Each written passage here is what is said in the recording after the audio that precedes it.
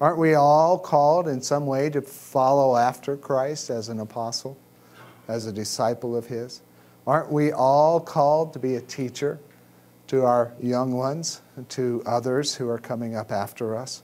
Aren't we all called in some degree in all of those ways that Paul was called to in a large degree? Sure, we are. We all have share some of that calling in our life because God has given us all uh, some of that calling uh, as well. So uh, he says, For this reason I also suffer these things, and I'm not ashamed. You ever go back to the shame? I am not ashamed. I know Pastor Kent, when he left, the one thing that bothered him the most was he was ashamed that he wasn't able to finish the sermon, and he was embarrassed by that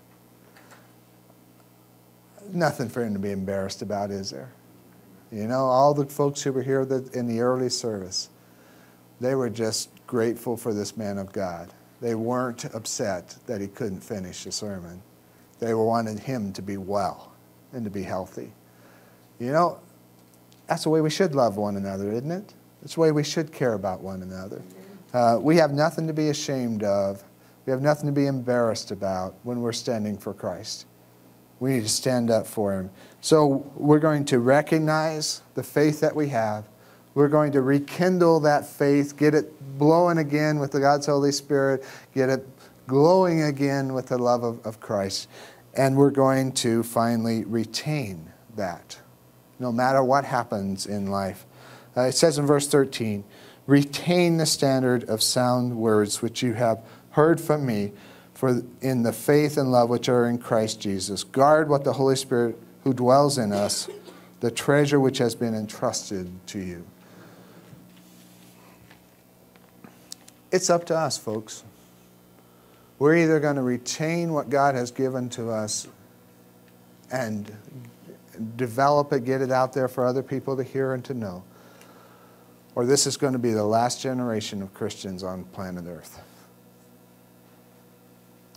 retain the sound words of God, retain the teachings of His Word.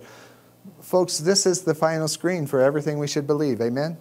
The Word of God. The Bereans were more noble than other people, it says in Acts 9, uh, because they investigated what Paul said according to the Word of God. Paul says, now that you know what the Word of God says, and we do know a lot of it, don't we? We don't know it all, but we know a lot of it. He says, retain that sound measure, retain that, that teaching, retain it so that you can be strong no matter what life throws at you. So that if you're in prison for the Lord, you can be like the Apostle Paul, still making a difference in whatever circumstance you are in. If you're suffering for the Lord, you can still make a difference for the Lord Jesus Christ because you are retaining the sound words uh, that you are guarding the, through the Holy Spirit the treasure that's entrusted to you. That you are guarding through the Holy Spirit the treasure that's entrusted to you. God has given us a treasure, hasn't He? God has given us a great gift. This salvation that we enjoy, this fellowship with a holy, loving God. God has given us a great treasure. Uh, we need to guard it. We need to guard it. Hang on to it. Hang on to it with all of our might. Uh, guard it. Keep it pure. Keep it right. Guard the truth of it as we share it. Amen? So we're taking the word of God and, and, and we're guarding the treasure of God, of God so that we can continue to serve God throughout our life. Amen? So, what are those three R words? You remember what they are? Recognize the gift that God has given to you through generations, uh, through the legacy that you've received. Rekindle the fire that God has given you in your heart. Get the Holy Spirit blowing on it again. Get excited about Christ again and sharing the good news with others, inviting them to church. Retain the truth that God has given to you. Retain it. Make it a part of your daily life. Read it every day. Make it a part of your life so that you can hang on to it through the tough time. It's the truth that will guide you through anything that you go through in life. So, we're ready, right? To recognize, to rekindle, and to retain so that we can serve God as God would have us to. Would you bow with me, please, in prayer? Father, we thank you for your Holy Spirit and your Holy Spirit's presence with us today. Lord, we thank you for the truth of your word and how it speaks to us. Lord, I pray that the, the truth of your word, those, that sound word that you give to us, the Lord would sink deep into our heart, would help us to appreciate the faith that has been passed on to us, perhaps through our parents, perhaps through a, a, a loving friend, perhaps through a boss or somebody who has told us about Jesus.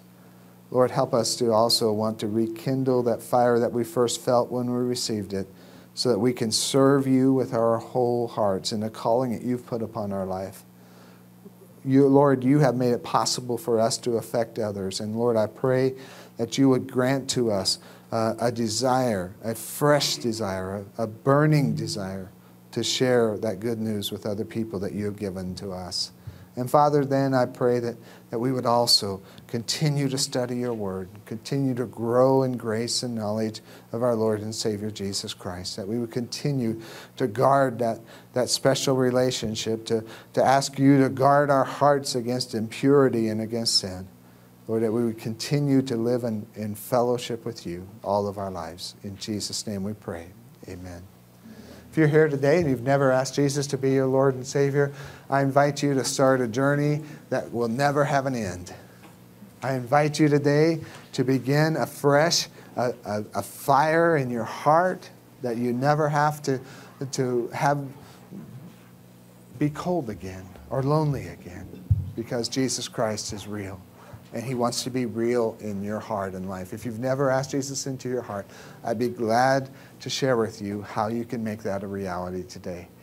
But if you're a Christian here today and you found that the embers are grown kind of cold, I ask you today to rekindle the fire in your heart. To ask the Lord to blow his Holy Spirit on you and to make you on fire for God again what would happen to this community if this church got on fire for God? What would happen? The community would change. I'm telling you, it would change. People are waiting for authentic Christianity to be shown by others, by Christians. They're waiting for that. And when they see it, they'll come to it to find out how to have it themselves. If you're here as a Christian, ask God to rekindle that fire in your heart. Let's all stand as we sing together. If God's spoken to your heart today, I'm going to be here to pray with you. If you want to come and, and ask about Jesus, I'd be glad to share with you how you can have Jesus in your heart. If you just want to make some other commitment to God, you're welcome to come, and I'll be glad to pray with you.